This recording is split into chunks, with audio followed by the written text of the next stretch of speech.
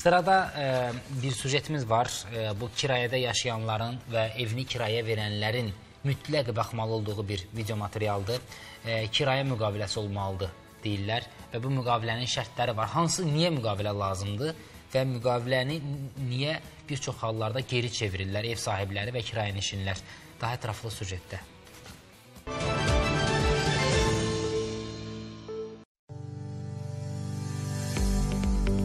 Ev sahibi və kirayənişin arasında problemlər tez-tez yaranır. Əsas səbəblərdən biri kimi kirayə müqaviləsinin bağlanmaması göstərilir. hökmən vacibdir. Çünki arada hər hansı bir narazılıq olsa, ev yiyəsi bir söz deyir, kirayəçi bir söz deyir.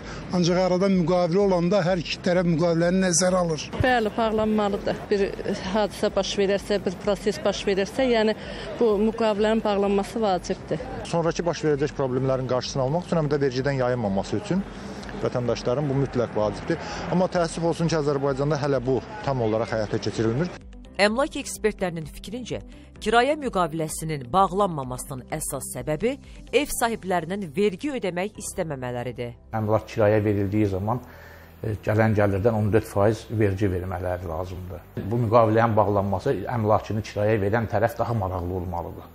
Çünki əmlaka dayan ziyanın, hər hansı bir e, maddi, mənəvi və yaxud da ki, bir cinayət hadisəsinin baş verdiyi halda müqavilə yoxdursa, əmlak sahibi o e, cinayətə görə o məsuliyyət daşıyır. Bəs tərəflər arasında müqavilə necə bağlanır? Bu zaman hansı şərtlər və sənədlər tələb olunur? Orada şərtlər qoyulmalıdır. Mən evi hansı şəkildə verirəm, o şəkildə almalıyam. Əşyaları hansı şəkildə verirəm, o şəkildə almalıyam.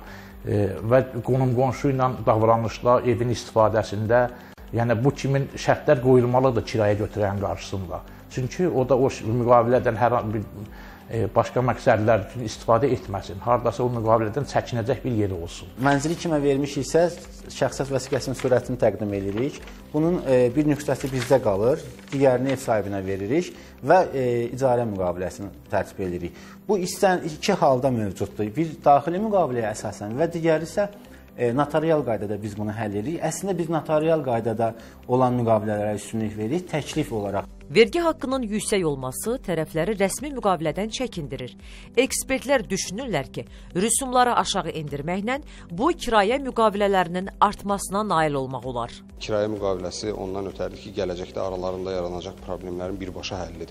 Yəni e, bildiyimiz kimi respublikada müqavilə azadlığı var. Yəni hər bir şəxs, e, hər iki şəxs öz aralarında müqavilə şərtlərinə uyğun müqavilə tərtib edə bilərlər, lakin bu müqavilələr qanunvericiliyin tələblərinə zidd olmamalıdır. Problem öz aralarında həllini tapmırsa, məhkəmə qaydasında müəyyən olunur. Və beləliklə Əmlak sahibləri ödəyəcəkləri 14% vergiyə görə mülklərini riskə atırlar. Kirayəçilər isə bağlamadıkları kirayə müqaviləsinə görə istənilən vaxt evdən çıxarıla bilərlər. Bütün bunlar da rəsmi kirayə müqaviləsinin vacibliyini bir daha təsdiq edir.